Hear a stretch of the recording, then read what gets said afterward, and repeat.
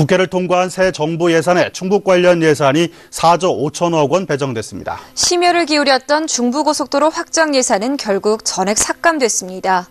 보도에 신미희 기자입니다. 타당성 재조사 및 공사비 100억 원으로 변경하여 국회 예결위원회를 통과되도록 하는데 최선을 다할 계획입니다.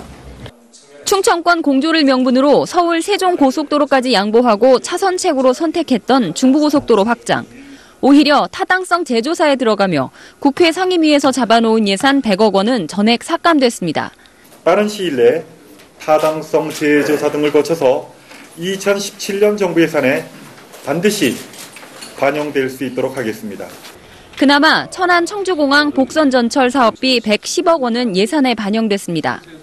중부 내륙 철도와 경부고속도로 동이 옥천 확장 등 SOC 예산이 전체의 30%를 차지했고 충북 소회론까지 불렀던 오송 임상시험센터 등 현안 사업도 포함됐습니다. 전체적으로는 신규 사업들이 예년 대비해서 다수 증액되었고 국회 심의 과정에서도 천억 이상이 증액되었기 때문에 이걸 큰 성과로 보고 충북과 관련한 내년 정부 예산은 4조 5,897억 원, 올해보다는 2천억 원 정도 늘어 중부고속도로 확장 예산 불발 속에서도 한숨은 돌렸습니다. MBC 뉴스 신미입니다.